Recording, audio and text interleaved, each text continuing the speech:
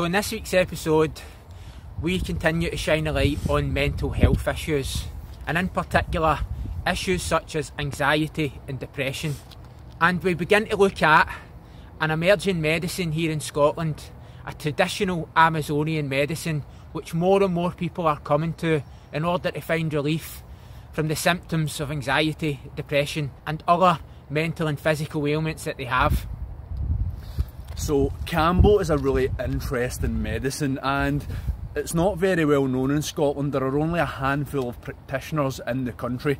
It's a medicine that both myself and Alan have used over the past couple of years to bring about a physical cleanse, but also uh, an emotional release and help you release some blockages that have been holding you back in life. Now, a couple of our friends, Susan McGrory and Karen O'Donnell, are actually girls that we went to high school with and we've been pals with them for over 20 years they got in touch with us recently because they've been through a bit of a hard time over the lockdown period with anxiety. It had really flared up and they were struggling a bit with anxiety and they were looking at different means to deal with that aside from pharmaceuticals and all the other different methods in the mainstream that just don't really do much good in the long term. And in this episode, Karen, Susan and another lady have came forward, lady by the name of Michelle Jones, have all come forward to take part in a Kambo ceremony and also then to tell us about the amazing progress they've made using this medicine. YouRevolution is all about health, well-being and self-growth and development. So if you're enjoying that type of content, then please hit the subscribe button below this video and enjoy the episode.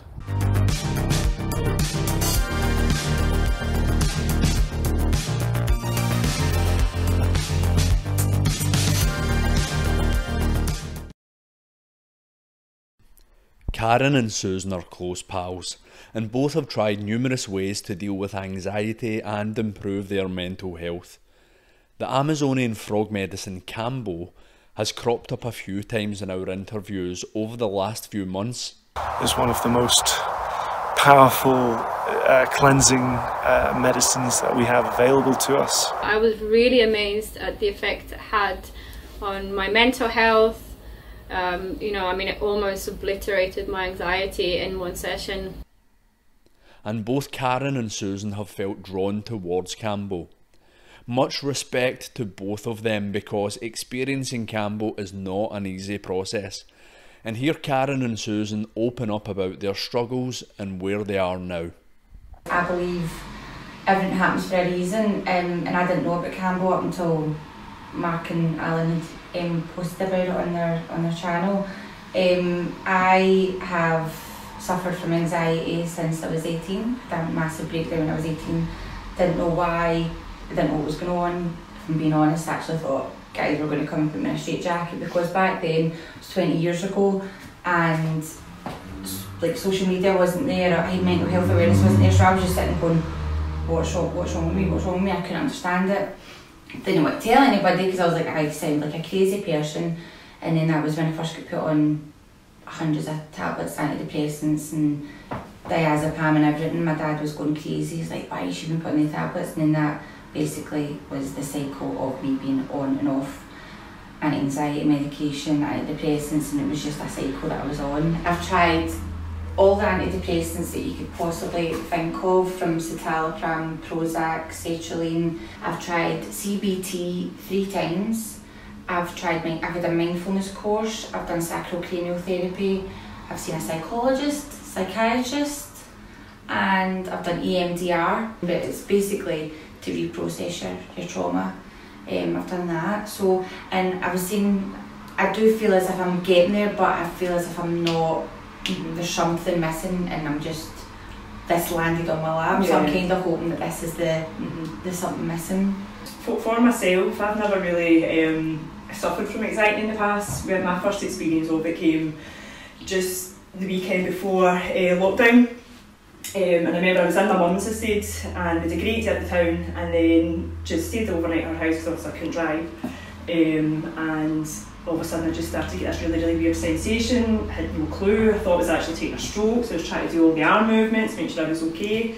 And then obviously that was my very first experience of taking a panic attack. And I suppose probably because I have been through things that maybe I don't register that I've actually been through um, issues that it's all now kind of manifested and pressure for work. It's just kind of tipped me basically over over the edge. Um, so uh, obviously I've, yourself, Marc and Alan had been talking about plant medicine. Um, other friend Vicky's so I've kind of heard about it.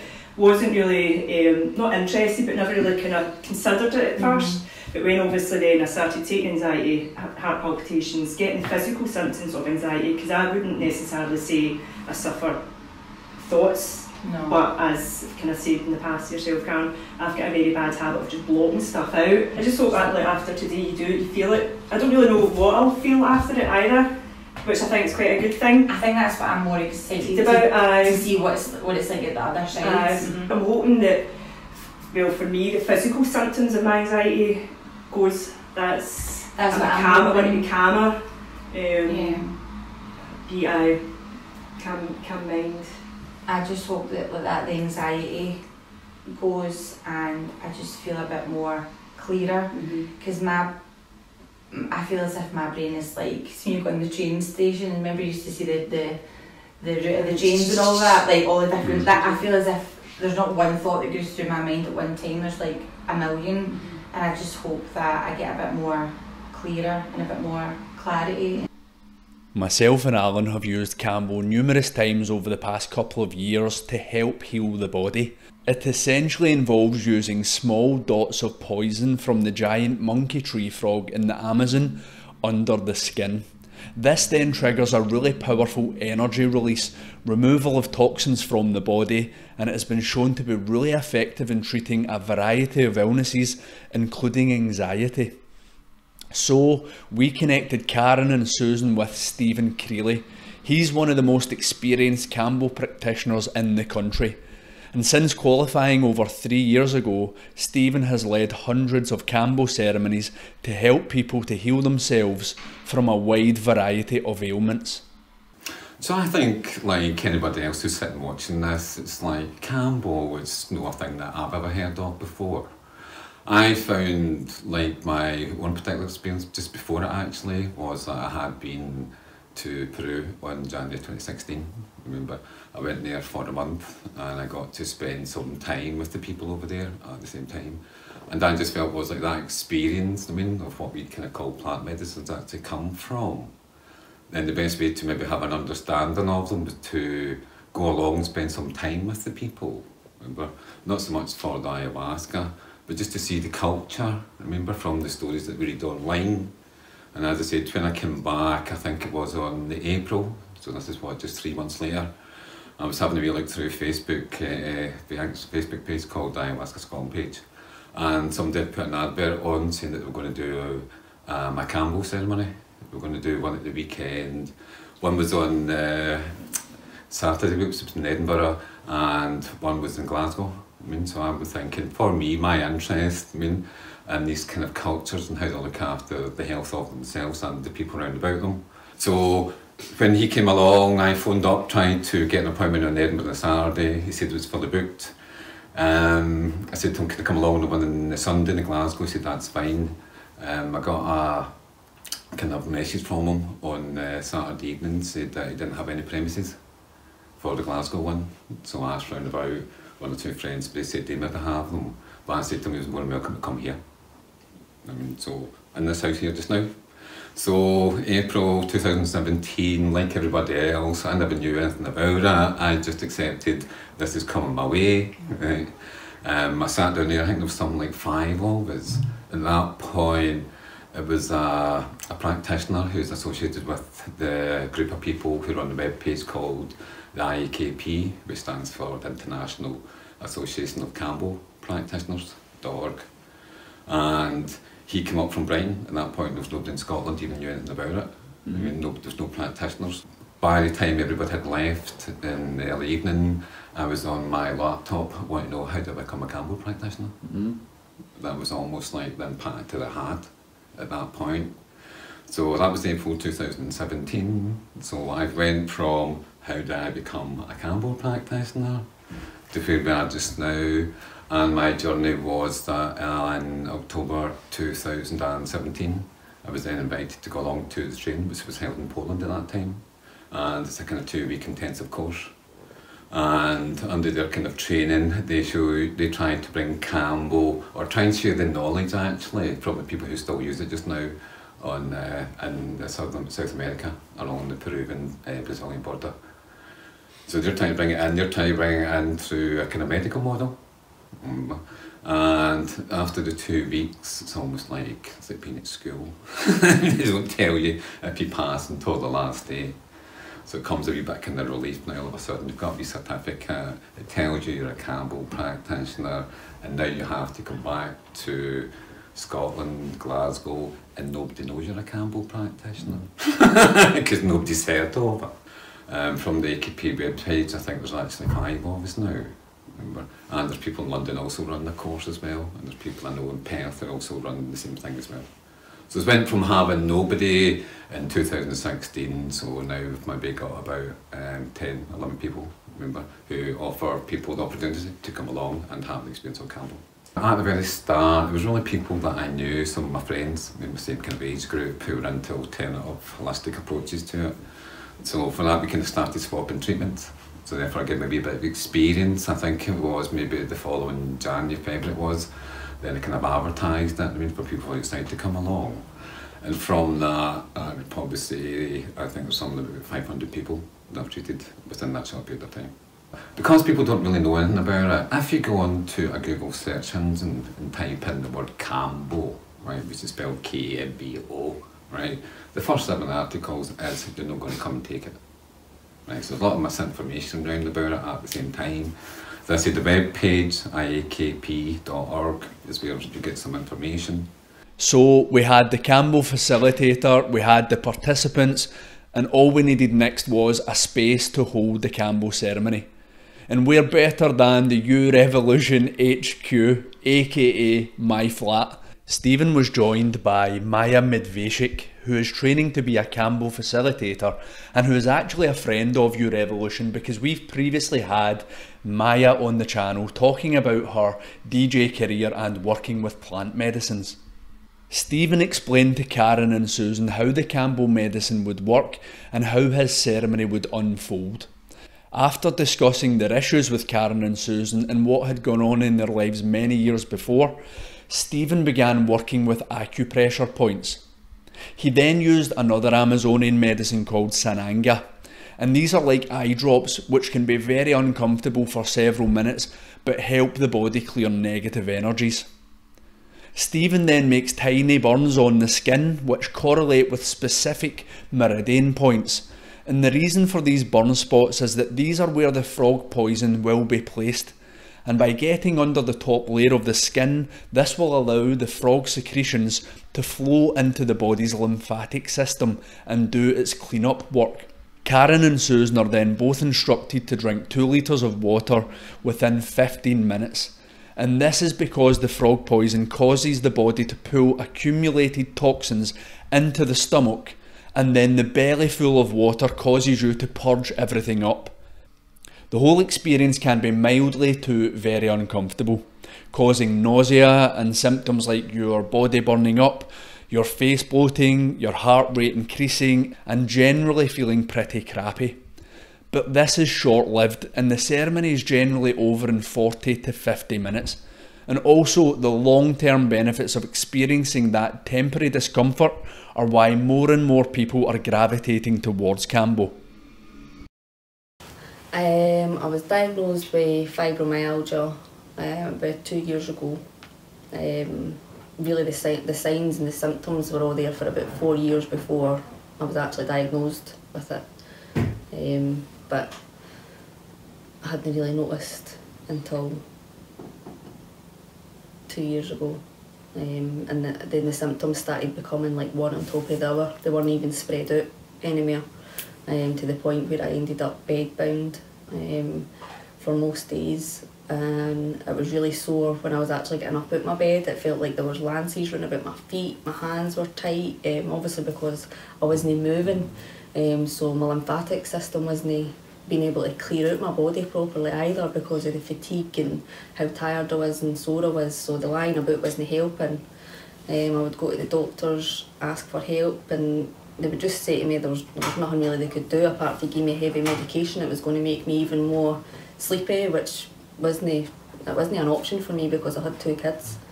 Um, trying to look after them, and I was like, I was already struggling to get up out my bed to help feed them and stuff like that. Um, so I was feeling quite guilty about that as well, obviously beating myself up on top of that. And um, they wanted to put me back on antidepressants, so they kept telling me that I was depressed, and I actually, the fact that they had told me there was something wrong with me, and I had knew it had been there for years, had settled me inside. So I knew I wasn't depressed. The fact that I'd had a diagnosis had actually settled me inside. It was more just trying to get through the pain for me. Um, and how bad was the pain? How debilitating was the condition for you? Um, really bad. Like, I think people used to think that I was kidding on. Um, I can mind that my body just used to absolutely shut down with the fatigue to the point where you'd probably have thought that I took something to go to sleep. I can mind my dad coming in trying to wake me up um, and I, like I could actually physically couldn't waken my body up. My dad had told me that he'd been in one time and woke me up on the couch and I could not remember a thing. I'd had a full conversation with him and couldn't remember nothing. Um, I'd had a shower one day, came out the shower and I had totally, it was like my memory had just wiped itself. I totally forgot that I'd had a shower. Came out the shower and I said to my daughter that I was going back in the shower and she just looked at me and was like, you've just been in. Um, and that was that was when I realised like there was something really, really wrong that needs to get fixed here. So you were getting nowhere with the, the mainstream medical options. How did you come across Kambo? Tell us how that all unfolded. I'd actually read a wee bit about it probably about three months before I had got in contact with Stephen. Um, and I was quite intrigued by it and I thought this could probably be what I'm looking for. Um, but I didn't think, I didn't know how I'd be able to find anybody that had done done anything like that over here and it kinda I read a wee bit and then it just kinda left my mind and I was quite friendly with a woman called Liz and she had mentioned the Kambo to me and I was like I really want to get that done and she says to me oh I know somebody that I can get you in touch with um, however I think it must have been about the same week that I'd spoke to Liz and a ceremony with Stephen had popped up on Facebook and it was on the run up to Christmas. I was in my bed with this fatigue and the way he'd worded it was about getting energy and clearing out and stuff like that and, and time for the Christmas period and I thought I need energy like this. So I messaged him and the first time I came uh, obviously you're a bit nervous and stuff like that you don't know what to expect. But I was at the stage of like I just needed anything to help me. I was extremely sick, physically and spiritually as well, because it was just making me at the point where I didn't even want to be here because of how ill I was. Um, but when I came in, Stephen was so welcoming, made me feel so comfortable, spoke me through everything in good depth that I knew what was going to happen to me um, through the ceremony. And obviously after that was going to depend on myself and what was happening inside me and what shifts it was going to make. Kambo was first analysed in a lab in 1986 by Italian scientist Vittorio Erspamer, the man who first discovered serotonin, and he described Kambo as a fantastic chemical cocktail with potential medical applications. And the reason for this is that it contains dozens of peptides which stimulate numerous positive health effects in the body. And scientists are showing a huge interest in Kambo, and over 70 patents have since been lodged, mainly in the US. And studies are ongoing, and one of Kambo's most exciting potential medical applications is in the treatment of cancer. Its dermaseptin B2 peptide has been shown to inhibit cancer cell growth by more than 90%. And there are also signs that it could be useful in the development of treatments for Alzheimer's disease, depression, and strokes. And some more anecdotal evidence, and certainly feedback that Stephen Crielly has had after conducting hundreds of Kambo ceremonies is that it can be very effective for dealing with anxiety, depression, and fibromyalgia. After suffering for years with fibromyalgia, Michelle now tells us all about her Kambo experiences and the huge positive impact the medicine had on her health. Placed one dot on me and he told me to have a like a lie down like that can of come over me and I did go into like a meditative state and I seen um, a couple of visions. I felt like they were lifting these things off me. Um, I didn't expect that, um, but I had got a couple of visions as if like this it was like total spiritual what had went on because it was as if this energy had come in and just lifted off this dark stuff off of me, but it was showing me it was doing it. Um, that was just with the one dot, and then once that had kind of went on, um, we'd done the rest of the dots and then I purged. Um, and the, you do get a, a wee bit where you're like, why have I done this? But the feeling was just like I knew there was something coming out of me and I knew there was something big happening and a big shift happening round about me and inside me. Yeah, they, they say that Kambo lifts Panema kind of heavy energies from the body. So are you saying you felt that then, these heavy energies leaving your system? I could, aye, my body felt lighter. I felt like after it, my body felt floaty. And I like somebody explaining Panema, like the dark energies, you didn't realise how much it actually bogs your body down until it's lifted off you. Well, I got it done the three times um, and once I had had it done the three times, so the first time, the week after that, I was like my energy was, I was looking for things to clean in my house because I had like I was bursting my energy. I couldn't believe how much this had just gave me myself back after the first week. But obviously we had spoken, we had said like once you get the three, that was like a total cleanse. Um, so we had agreed that that's what was going to happen. After the second one that I had had, um, I felt kind of ill for about two or three days after that, but a lot of what was going on was in my head. I felt like it shifted a lot, it's like it lifted me out of my head. Um, the rewiring in my head had started happening. And that's what had started happening. I had started to release a lot of stuff that I was holding on to that I didn't even realise I was holding on to myself. Um, and the medicines just worked with me through the whole year. Um, I don't, I, I gave up a lot of bad habits that I'd had. Um, I mean, obviously I wasn't out drinking quite a lot when I'd had my fibromyalgia and stuff like that, but I would still go like every now and again if my pals were having something, have a wee drink. I smoked cigarettes. Um, I was using weed at the time, especially with my fibro. I was probably overusing it at the time, trying to help my trying to use something other than the what the pharmaceuticals. Um, but I stopped everything. I stopped smoking. I didn't drink. I just the, the thought of even wanting to go out and do anything like that. How would you describe yourself now compared to how you were then when you were ill?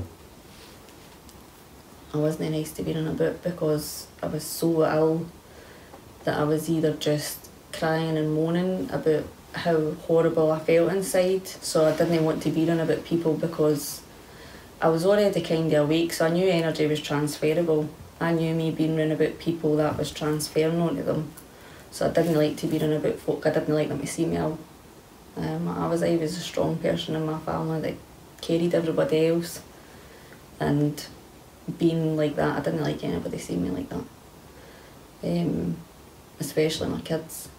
Now, um, I'm glad I've done it because it's totally changed me as a person. The full energy in my house changed when I changed as a person. Um, I didn't even realise, like, even just going out and drinking at the weekends, that that energy is still carried with you and how much you switch yourself off and that that energy was, like, the even the music that my kids listen to now is totally different to it's like it's changed everything in my house. It's like once I've changed what had been happening inside of me, and obviously it's helped clear up my, my fibro. I've had no symptoms for um, seven, eight months. So how would how would you sum up the impact Kambo's had in your life? It's totally changed my life. Absolutely, totally changed my life. I've totally changed as a person for the better. And obviously, it's not well known in Scotland, and some people are sceptical of these alternative method, uh, methods and medicines. What would you say to someone who was considering it for the first time? I would say go for it.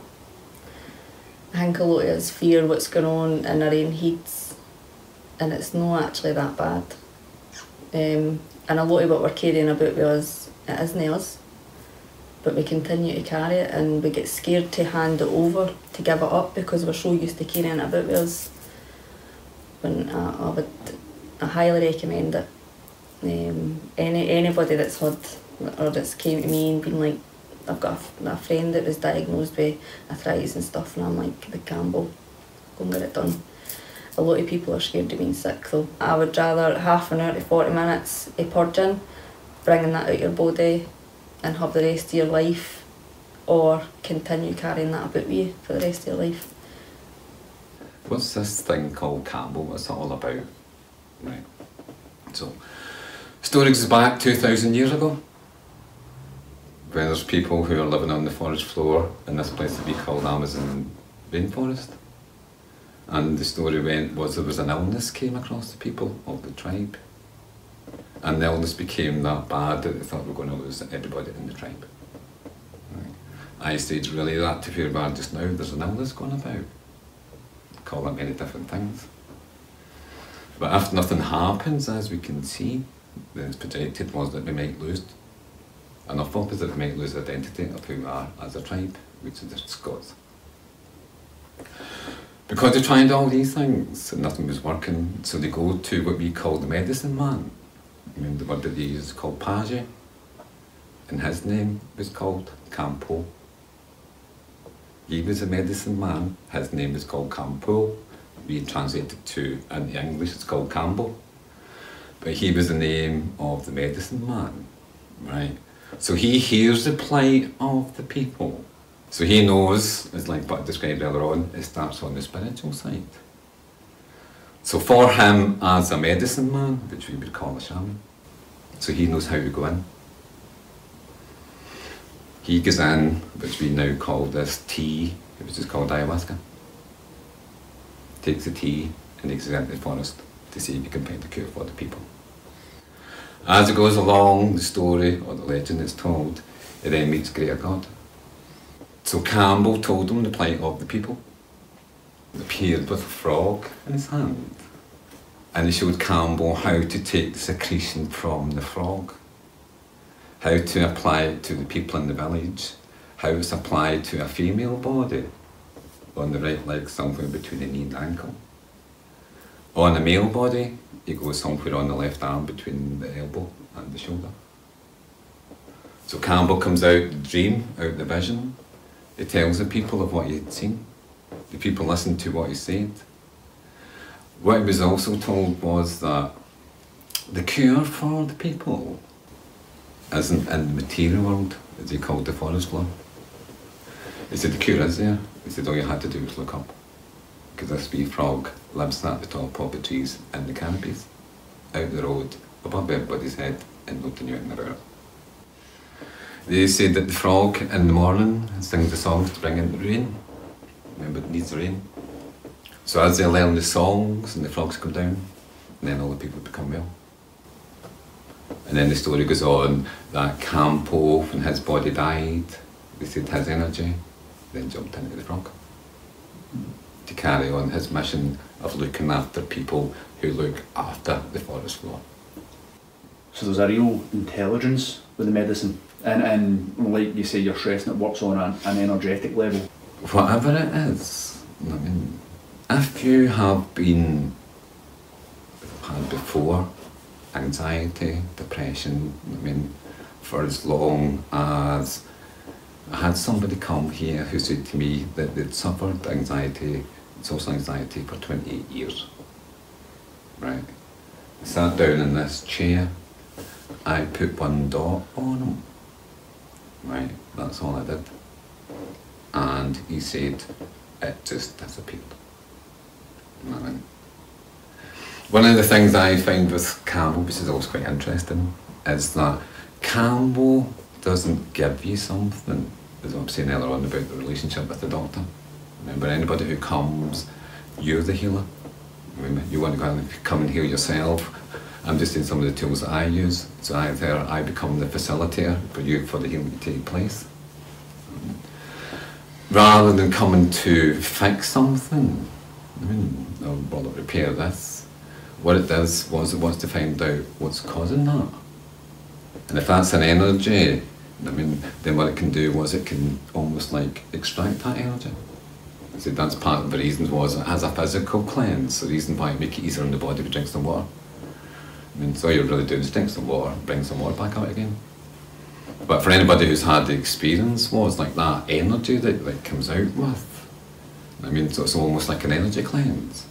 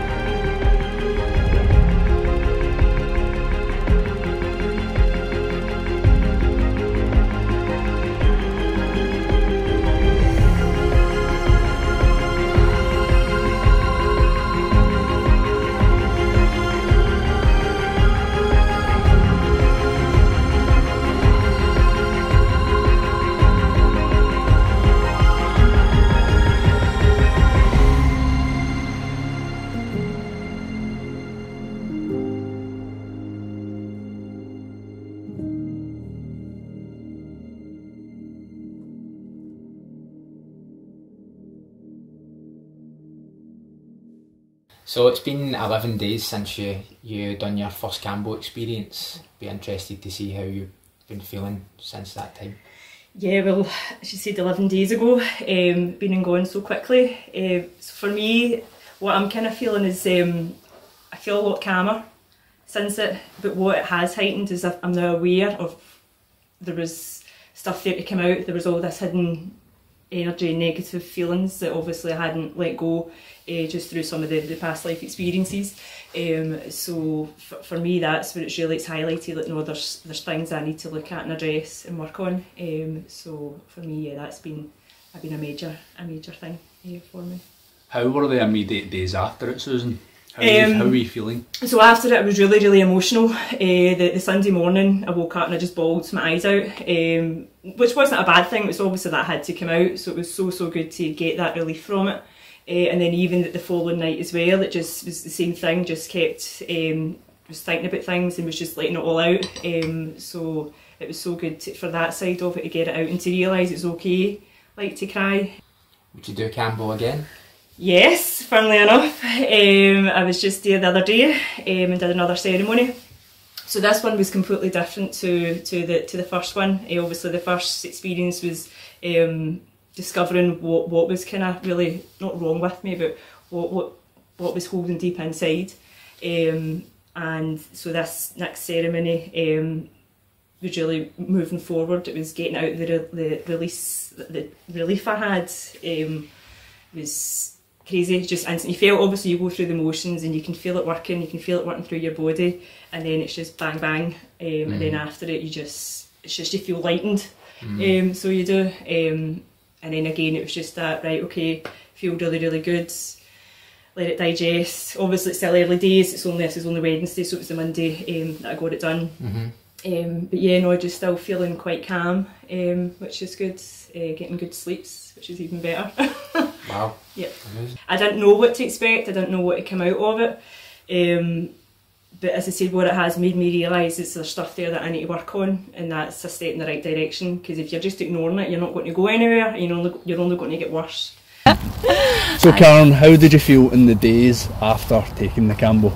I actually just felt um, like quite quite calm. I am a very very anxious person and worry, mind racing 100 miles an hour. But I just felt a bit. I just felt really calm and quite just still, and I felt as if I was more um, sort of focused and clear in my thinking. Um, so it, it, I, I loved it. I did. I really, really, I was shaking myself before it, but after I'd done it, I was like, I need to do this again. So you definitely want to do it again? Mm-hmm. One hundred percent. No, no. There's no doubts in my mind. I would def. I feel as if that first one just was like the tip of the iceberg. It just kind of scratched the surface, and I just I, that session made me realise that I was holding on to a lot of stuff, and I never got it out in that session. So I know I need to. I know I need to do it again. But having done it, it wasn't like anything that I've ever experienced before. It was, I just felt as if it was something that was natural and needed to happen. So I wasn't, all my anxiety, fear, everything just sort of disappeared through like going through it. Um, and after that, I was just like, I need to do this again. I just think a new year, I'm going to do it again. I think I'll go in um, more able to sort of release. I think my mind was just full of uh, should I be feeling like this, blah, blah, blah. like so. I think the first session was almost like a taster, and I sort of dipped my toe into it. Whereas I think I would fully like immerse myself into like another session because I would I don't you know there's you know what's coming, you know what's going to happen, you know the process. So I wouldn't I would go into it with no fear and just immerse myself in it and just completely let go. I felt as if I was kinda although I was doing it, I kinda felt as if I was holding on a lot. I didn't really want to let myself go a hundred percent. So I was a wee bit more reserved, but I think the next time when I do it in January I'll just let it go, like Elsa says in the song. so now you've come across this alternative healing practice, how optimistic are you feeling? Oh, so optimistic. Like, I think, I mean, I, I was taking anti, anti anxiety medication since I was 18, and I'm going to be 38, which is what, 20 years. And I felt as if after that session, like, you know, things have happened since that session. Um, and normally, the Karen before Kambo would have went to the doctor, got medication, all that kind of stuff. But like, I just feel as if I'm like, you know, you know, I, I have got this. Like, I, I can I can do this. Do you know? I just feel a bit more cool, calm, collected, and I can just I've just got more clarity in how I process things now. Um, so that one session has just had a massive impact and a massive change. So I'm just going to keep on going forward with it. I'm so excited. Well done.